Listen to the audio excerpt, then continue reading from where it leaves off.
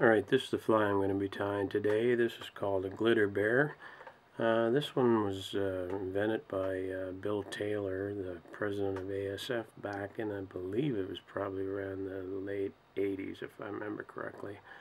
That's a pretty good looking fly. I used to tie a pile of these things for up in the Quebec and New Brunswick area.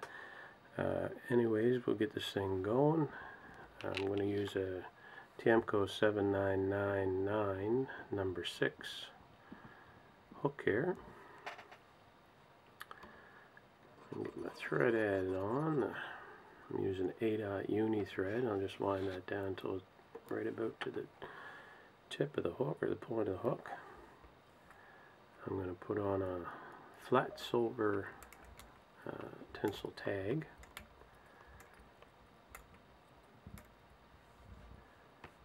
The butt on the fly is uh, original pattern uh, called for like a fluorescent green floss. I'm just going to use my stretch nylon chartreuse, which I use a lot on the butts, a lot of flies I tie.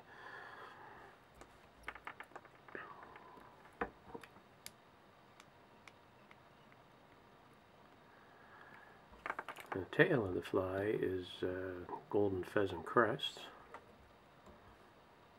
will get in there.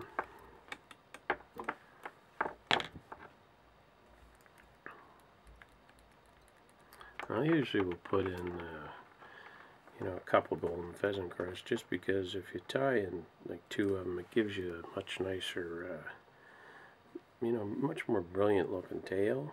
Um, I'm not so sure that the the salmon really too much about that, but then again, I haven't had a conversation with one to ask them, so if any of you have that conversation and they tell you they like two instead of one, please uh, get in touch with me and let me know that, or if they like one better, that's cool too.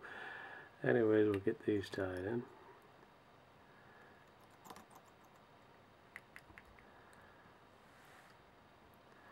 Now the rib on this fly, I'm just going to use a, a silver oval, size small, uni tinsel.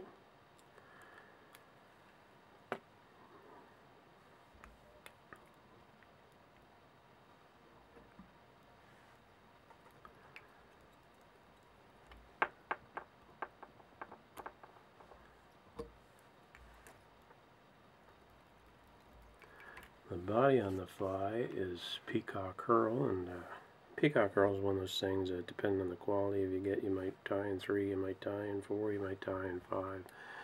Uh, just depends on how much fiber, you know, how bushy it is, and some's just better than others when you get it.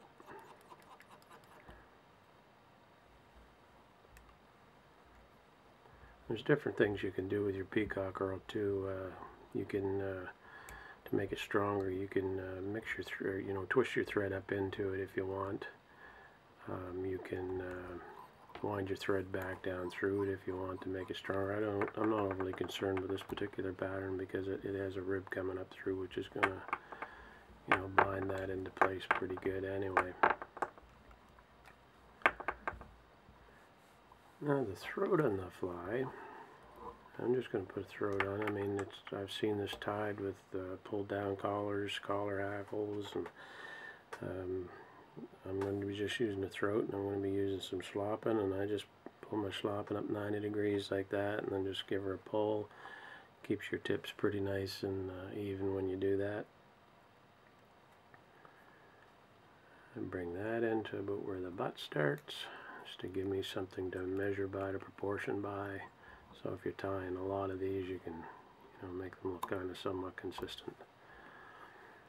The underwing, I'm going to put a little chartreuse uh, crystal flash in.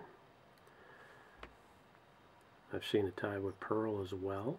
Um, it's uh, you know entirely up to yourself what you uh, decide you want to use for that little bit of flash in there. The wing of the fly originally was bear hair. I'm going to use a black squirrel just because it's uh, something I have on hand here right now and and uh, it, it, really uh, uh whatever you happen to have the bear hair is uh, certainly uh, nice stuff as well. You get a nice straight piece of bear to work with. Get my tips evened up there a little bit. Get a measurement here.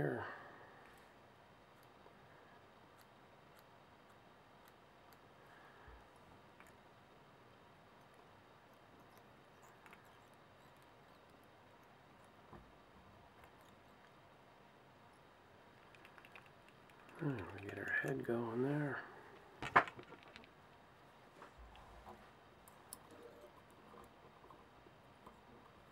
Would finish it there. I'll put a few coats of cement on that, and there you have yourself a glitter bear. It's uh, you know, a nice little uh, salmon fly that uh, I used to tie an awful pile of those for up in the Gaspé Peninsula. Anyways, I hope you enjoyed that. I hope you get some tips out of that, and you should have these in your box. They they tend to work very well. Actually, it's very similar to a black bear green but just slightly different. Uh, you know, sometimes that's all it takes is something, just a little bit of change. Sometimes a little bit of a change up fly too. You know, you raise it on one, you go to one that's very similar but a little bit different, and bam, you got them. Anyways, hope that was. good I hope you enjoyed that, and hope you had a good time. Uh, we'll talk to you later. Bye.